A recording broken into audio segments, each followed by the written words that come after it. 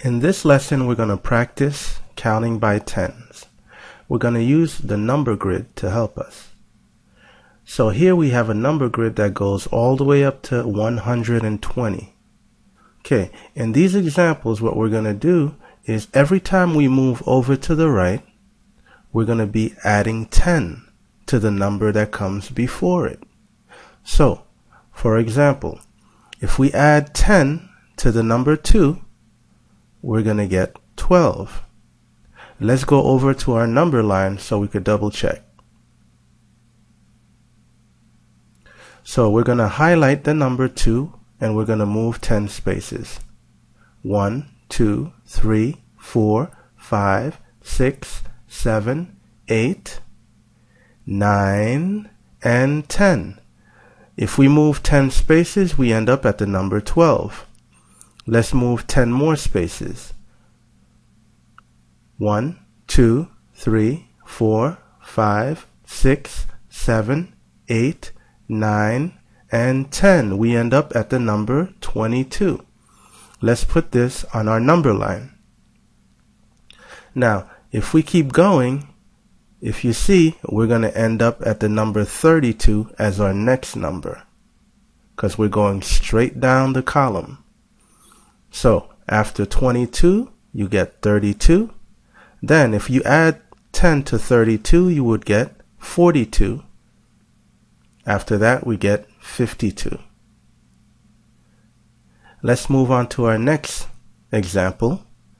If you add 10 to 6, you get 16.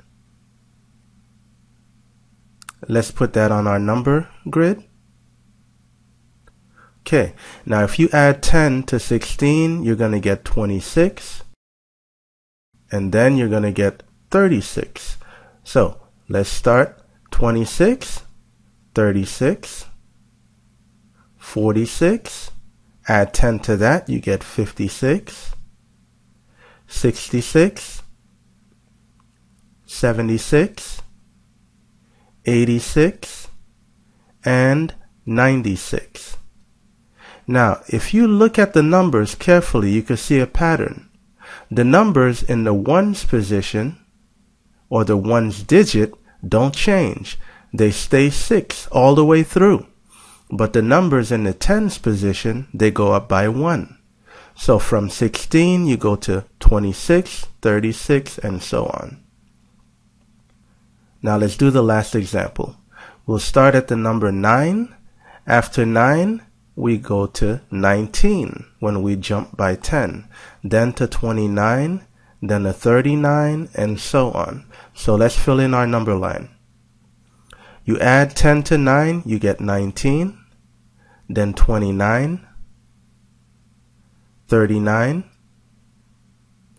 49, 59, 69,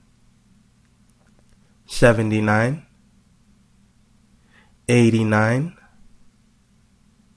99, and this is where it gives some of you a lot of trouble. After 90, you get 100, so you have to keep going. After 99, you would get 109. Okay, let's look at our number grid just to double check. And if we look at our number grid, we can see that if we move down from the number 99, we would get 109.